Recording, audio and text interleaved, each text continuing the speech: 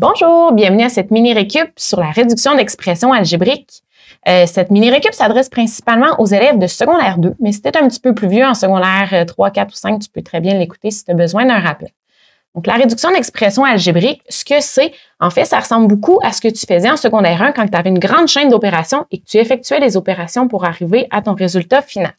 Le seul petit plus cette année, c'est qu'on va, ajoute un petit peu d'algèbre là-dedans.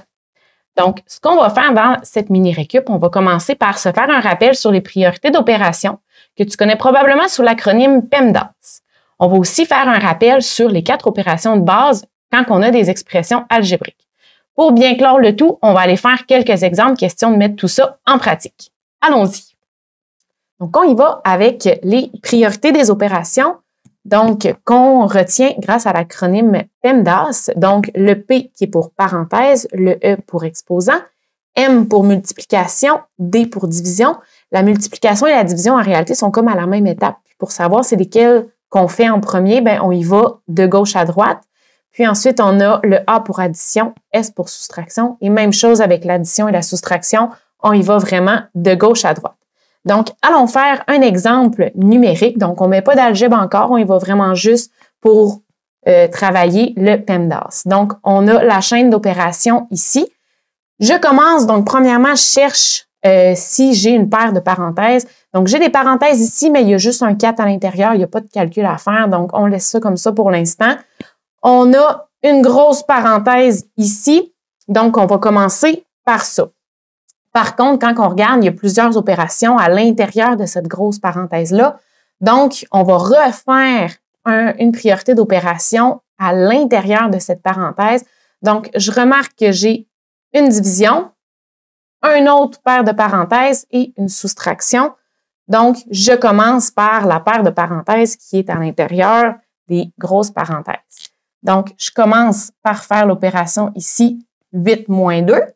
Je retranscris sur la ligne en dessous tout ce que j'ai pas souligné, je le retranscris exactement pareil et tout ce qui va changer, c'est que je viens effectuer le calcul que j'ai souligné ici.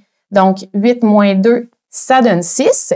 Ensuite, je continue. Donc, je regarde à l'intérieur de ma grosse paire de parenthèses. Il me reste encore plusieurs euh, opérations.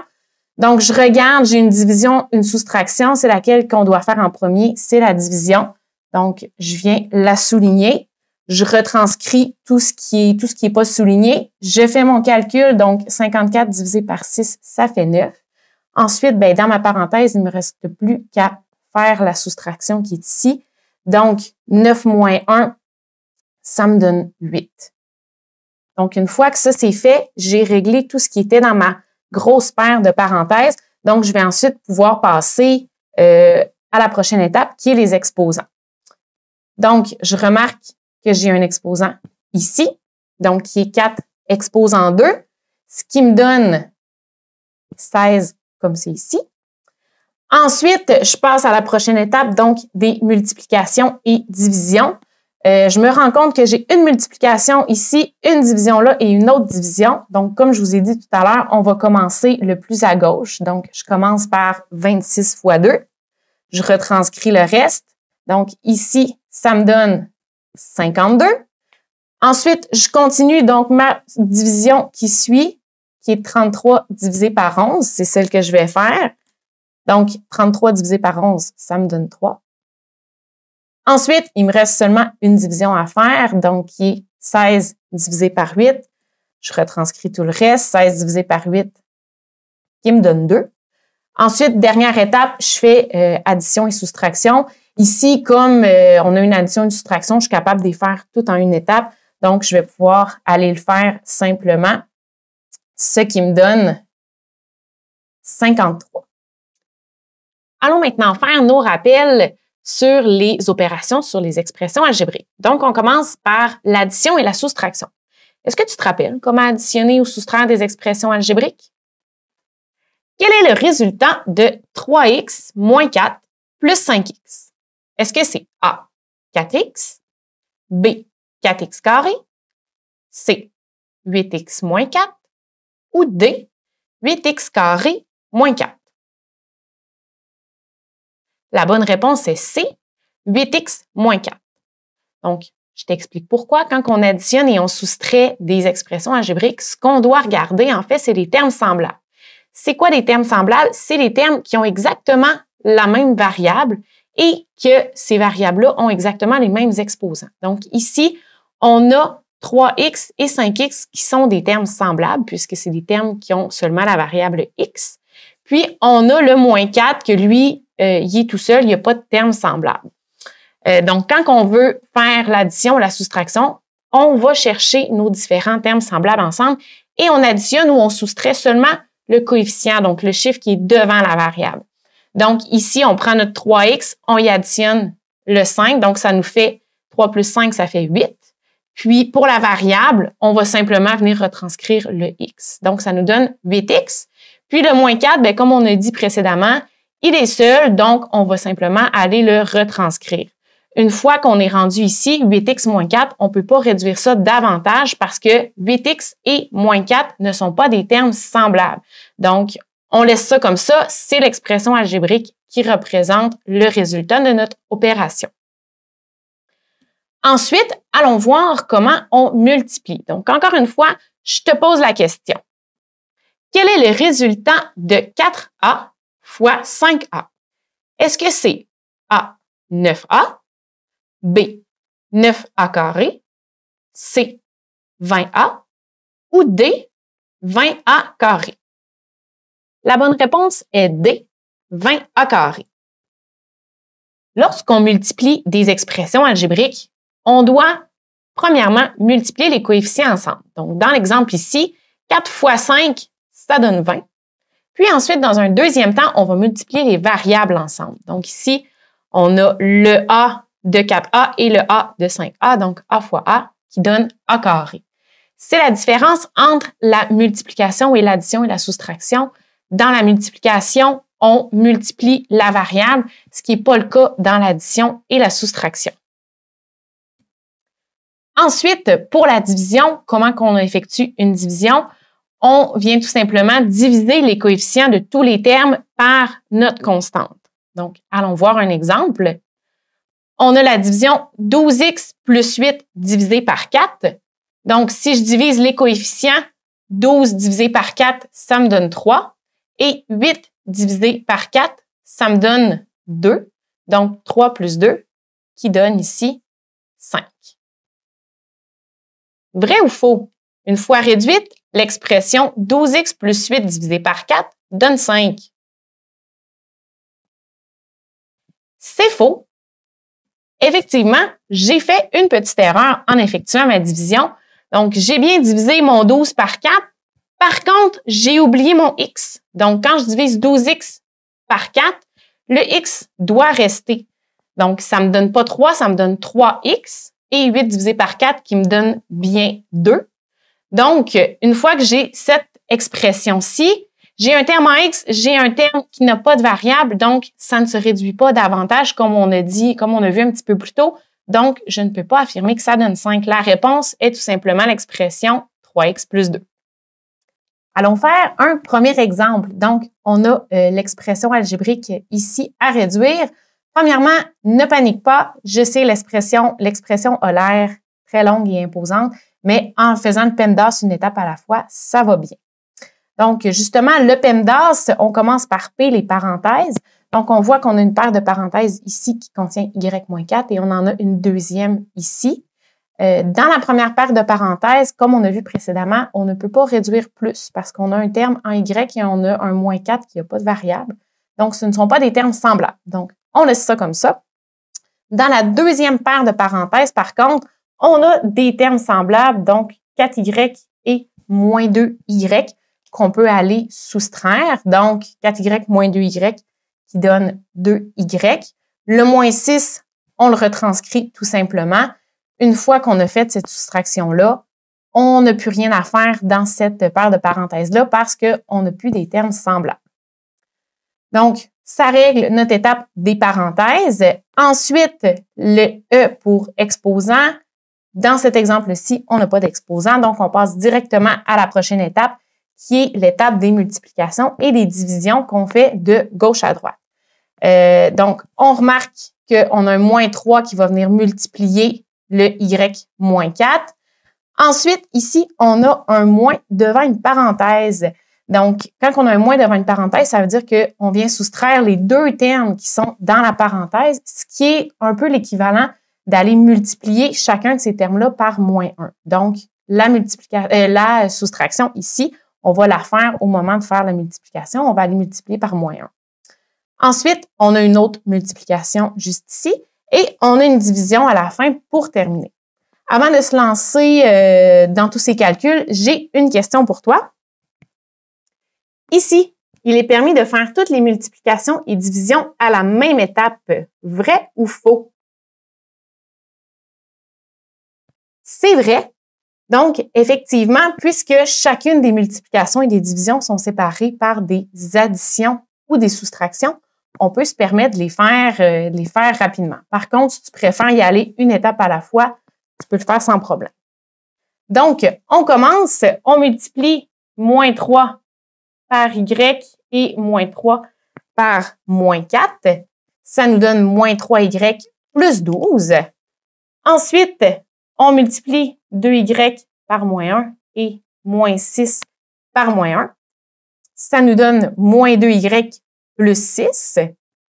Ensuite, 6Y fois moins 2Y qui nous donne moins 12Y carré. Donc, on se rappelle, quand on multiplie des variables ensemble, on multiplie aussi, euh, quand on multiplie des expressions algébriques, pardon, on multiplie aussi les variables. Donc, on obtient Y carré. Et pour la division, on divise chacun des coefficients par 3. Donc, 24 divisé par 3 qui fait 8. Et 3Y divisé par 3 qui fait Y. On se rappelle que la variable doit suivre. Ensuite, on n'a plus de multiplication, on n'a plus de division, on passe aux additions, soustractions. Un petit truc ici, on va avoir à respecter les termes semblables. On peut seulement additionner ou soustraire tous les termes qui sont semblables. Ils sont un peu mélangés. Donc, ce que je fais, je vais venir les replacer pour placer les termes semblables ensemble. Donc, mon, je viens prendre mon moins 12y carré, je l'envoie en avant. Ensuite, tous les termes en y, je vais venir les regrouper ensemble. Euh, je vais aussi prendre le, le signe qui est devant, donc le moins 3y. Je fais suivre le moins aussi. Le moins 2y aussi, je suis le moins. Comme ça, ça me permet de pas me tromper. Est-ce que je dois additionner ou je dois soustraire? Donc, je prends le, je prends l'opération qui se trouve juste avant. Donc, même chose après ça, je prends mon plus y. Ensuite, dans, euh, pour terminer, ben, je prends les termes qui n'ont pas de variable. Donc, plus 12, plus 6, plus 8. Une fois que je suis rendue là, ben, je fais mes additions et soustractions normalement. Donc, moins 12y carré qui est tout seul de terme en y carré, donc il va rester tel quel. Moins 3y, moins 2y, plus y qui me fait moins 4y. Et 12 plus 6 plus 8 qui me fait plus 26. Faisons maintenant un deuxième exemple. Donc, on a l'expression algébrique juste ici. Par contre, avant de se lancer, on voit qu'on a des fractions dans cette expression. Donc, on va aller faire un petit rappel sur les fractions. Donc, premièrement, pour euh, additionner et soustraire des fractions, on doit trouver un dénominateur commun. Puis ensuite, on va additionner ou soustraire les numérateurs seulement. Pour les multiplications, c'est tout simple. On multiplie en haut, on multiplie en bas. Et pour la division, on va commencer par changer notre division en fractions on va inverser seulement la deuxième fraction et puis ensuite, on fait la multiplication en multipliant en haut et en bas. Donc, allons-y. Euh, on y va avec notre priorité, PEMDAS. Donc, euh, parenthèse, dans ce cas-ci, euh, on n'a rien à faire. Ensuite, le E exposant, on n'a pas d'exposant dans l'exemple. Donc, on va directement dans les multiplications, divisions, de gauche à droite. Donc, on commence par multiplier le 3 quarts par 7 douzièmes de x et moins y. Donc, 3 quarts fois 7 douzièmes, on multiplie en haut qui donne 3 fois 7, 21. Et on multiplie en bas, 4 fois 12 qui donne 48. Donc, on a la fraction 21 sur 48x. Et on multiplie 3 euh, quarts par moins y. Donc, ici, c'est comme s'il y avait un 1 devant le y ce qui nous fait tout simplement moins 3 quarts Y. Ensuite, on continue. Donc, ici, addition, soustraction, addition. Oh, on a une division, donc c'est celle qu'on va venir faire en premier. On va la transformer en multiplication. Donc, ici, je vais prendre le temps d'aller l'écrire. Donc, j'ai un quart de Y qui reste tel quel, mais la division, je viens changer pour une multiplication et j'inverse le 1 huitième qui va devenir 8 sur 1, comme c'est ici. Et une fois que j'ai ma multiplication, je suis capable d'aller, euh, une fois que j'ai ma multiplication, c'est ça, je suis capable d'aller la faire. Donc, je multiplie ce qui est en haut ensemble, je multiplie ce qui est en bas. Donc, 1 fois 8 en haut, ça me donne 8. Et en bas, 4 fois 1, ça donne 4. Donc, ça me donne 8 quarts de Y. Ensuite, j'ai fait mes multiplications, j'ai fait mes divisions. Donc, je passe aux additions, soustractions.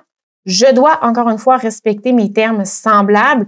Donc, je remarque que j'ai des termes qui ont des X, j'ai des termes qui ont des Y. Les deux sont ensemble, donc j'ai pas besoin de remanier quoi que ce soit. Euh, par contre, quand je regarde ici mes deux termes en X, j'ai 2 tiers et 21 sur 48. Pour les additionner, ça me prend un dénominateur commun. Donc, je peux garder 48 parce que euh, je peux multiplier 3 par un certain nombre qui va me donner 48. Donc, il faut que je multiplie 3 par 16. En faisant ça, je trouve la fraction qui est 32 sur 48. Euh, qui est une fraction équivalente à 2 tiers. Donc, 32 sur 48 plus 21 sur 48, je vais être capable d'aller faire mon addition. Au niveau des termes en Y, les deux sont, euh, sont sur 4, ont un dénominateur déjà commun. Donc, je laisse ça comme ça, j'ai rien à faire. Je peux tout simplement aller faire mon, euh, mon addition. Donc, si je vais pour mes termes en X, 32 sur 48 plus 21 sur 48, ça me donne 53 sur 48 et moins 3 quarts plus 8 quarts, qui me donne 5 quarts. Une fois que j'ai trouvé ma réponse, quand on a des fractions, on se rappelle, on doit toujours vérifier que nos fractions sont irréductibles. Donc ici, 53 sur 48, c'est irréductible et 5 quarts, c'est aussi irréductible. Donc, on a notre réponse juste ici. Pour notre troisième exemple, on va aller faire un exemple dans un contexte un petit peu plus géométrique. Donc, on nous demande de trouver l'expression algébrique qui représente le périmètre de ce trapèze isocèle. Donc, le périmètre, on se rappelle, pour le trouver, on doit aller additionner la mesure des quatre côtés euh, du trapèze. Donc, euh, le premier côté en haut, la petite base x plus 12, la grande base 3x moins 2. Et euh, les deux côtés qui sont isocèles, donc je vais aller les écrire sous forme de multiplication. Donc, j'ai deux fois la mesure 2x plus 5. Ici, les parenthèses sont très importantes puisque le 2, il multiplie vraiment la mesure au complet. Si on ne les met pas, ça fait que le 2 vient juste multiplier le 2x, ce qui euh, n'est pas ce qu'on veut. Donc, une fois que ça c'est fait, je repars avec mon euh, PEMDAS. Parenthèse, euh, on n'a rien à faire dedans. Exposant, il n'y en a pas. Multiplication, il y en a juste une. Donc, comme on vient de dire, elle est juste ici. Donc, on va aller multiplier 2 par 2x et par 5. Donc, 2 euh, fois 2x qui donne 4x et 2 fois 5 qui donne plus 10. plus 10. Euh, ensuite, on a juste euh, des additions et des soustractions à faire. Donc, comme on a fait tout à l'heure, je vais aller regrouper mes termes semblables ensemble. Donc, tous les termes en x, je les mets, je les écris au début. Donc, x plus 3x plus 4x. Et les termes qui n'ont pas de variable, 12 moins 2 plus 10. Et il me reste juste à faire euh, les additions et soustractions. Donc, x plus 3x plus 4x qui donne 8x et 12 moins 2 plus 10 qui donne 20. Donc, l'expression qui représente le périmètre, c'est 8x plus 20. Faisons le quatrième et dernier exemple, donc avec une petite mise en situation. Deux amis vont au cinéma. Les billets pour leur film coûtent 3x plus 4 dollars chacun. Au kiosque de nourriture, ils prennent un grand maïs soufflé pour 4x moins 6 dollars et deux boissons gazeuses à x plus 8 dollars chacune. Sachant que les deux amis sépareront le total des dépenses, combien chacun devra-t-il débourser pour couvrir les dépenses de cette sortie? Donc, premièrement, il faut trouver c'est quoi l'expression algébrique qui représente cette situation-là. Donc, on va faire le total de tous les achats et diviser le tout par deux puisqu'il se sépare la facture. Donc, on prend deux fois le prix des billets, 3x plus 4. On prend 4x moins 6, qui est le prix du maïs soufflé qui vont séparer. Et on prend deux fois 8, euh, x plus 8, pardon, qui est euh, le prix des deux boissons gazeuses. Et ce total-là, on le divise au complet euh, par deux. ce qu'on va faire ensuite pour faire les, opérations sur, sur cette expression-là, on va commencer par régler tout ce qui est au numérateur. Donc, on va faire comme s'il y avait une grosse parenthèse ici autour du numérateur. Donc, on va aller réduire le numérateur au maximum et ensuite, on va aller diviser euh, ce que ça nous donne par deux. Donc, euh, allons-y. On a premièrement euh, deux multiplications, donc on n'a pas de, on n'a pas d'exposant, donc on va directement aux deux multiplications. Donc, 2 fois 3x qui donne 6x et, 6x, et 2 fois 4 qui donne 8, donc 6x plus 8. Euh, plus 4x moins 6, on le retranscrit tel quel. Et 2 fois x qui donne 2x. Et 2 fois 8 qui donne 16. Donc, plus 16 comme ça ici. Une fois qu'on est rendu là, euh, on met les termes semblables ensemble pour ne pas se tromper. Donc, euh, 6, euh, 6x plus 4x plus 2x.